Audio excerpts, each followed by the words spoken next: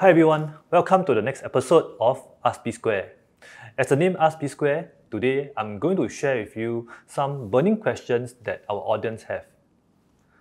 Many people ask me, Melvin, what are the things to look out for when I'm applying for a temporary bridging loan?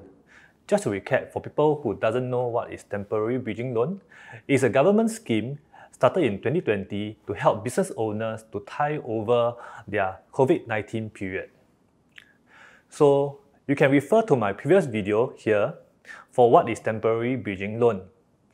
And here, there are six basic factors that the banks are looking for when assessing a temporary bridging loan.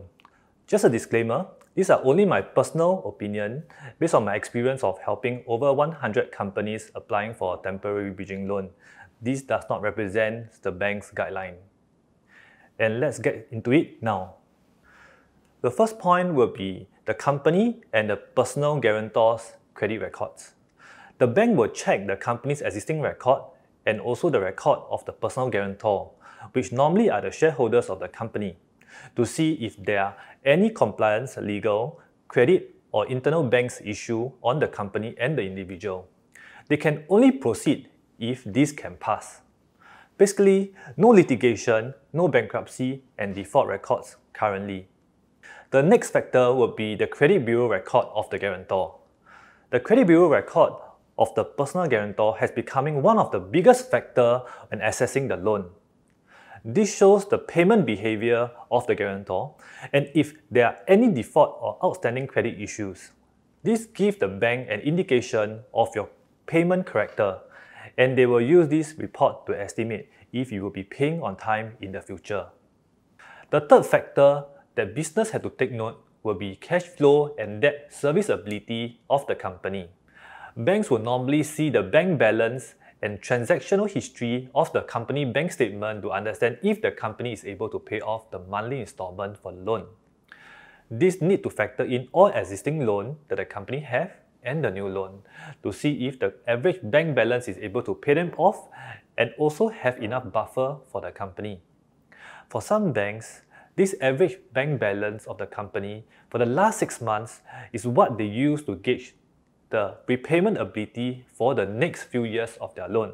A good bank balance requirement is approximately above three times of the total monthly loan repayment by the company. The fourth factor that we need to take note will be the profitability and sustainability of the company. This is to justify the source of repayment. The profitability of the company is important and it is showing the ability of how the company pays their debt and also show the source of repayment. How the bank calculate is using debt servicing ratio, which takes the company's profit divided by total debt that the company is servicing. A good debt servicing ratio will be a ratio higher than 1.25 times. So the fifth factor will be the nature of business and how the loan can help the business.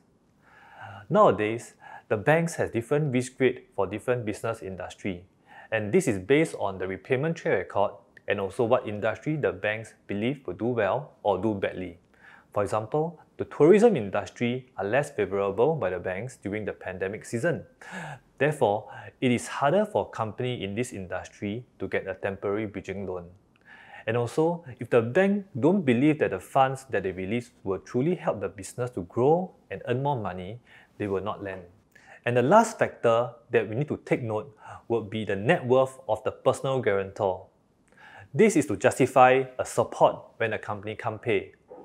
In every loan in Singapore, we will need a personal guarantor that has an income and have a good credit bureau record. In the event the company fail to make payment, the banks will look for the personal guarantor for the payment. Therefore, nowadays, bank will favor those company who has a strong personal guarantor with assets such as private property, high amount of cash or stocks. This will give the bank an extra comfort in the event the company is unable to pay. There are definitely more factors than this, but these are the six basic points that I think every business need to know. Like I always say, we should always plan to get a loan when you don't need it and not when you need it.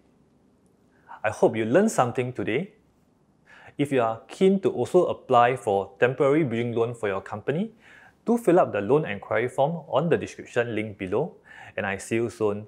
Don't forget to like and subscribe to our channel for useful business and finance content. Goodbye.